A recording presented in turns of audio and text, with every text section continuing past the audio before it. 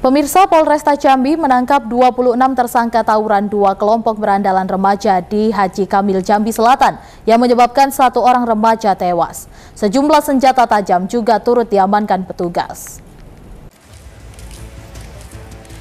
Tim Macan Polresta Jambi berhasil menangkap 26 tersangka tawuran kelompok berandalan remaja bermotor di kawasan Haji Kamil, Jambi Selatan beberapa waktu yang lalu, yang menyebabkan satu remaja tewas akibat luka bacok di kepala.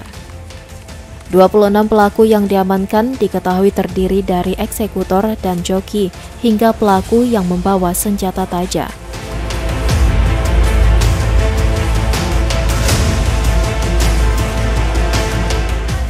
Sejumlah senjata tajam jenis samurai, parang, dan egrek, hingga besi pelat buatan juga turut diamankan petugas. Namun setelah dua kali akan digelar press release pada Minggu dan Senin 19 Desember, Polresta Jambi menunda karena polisi masih mengejar tersangka lain dalam kasus ini. Dimas Sanjaya, Cek TV, melaporkan.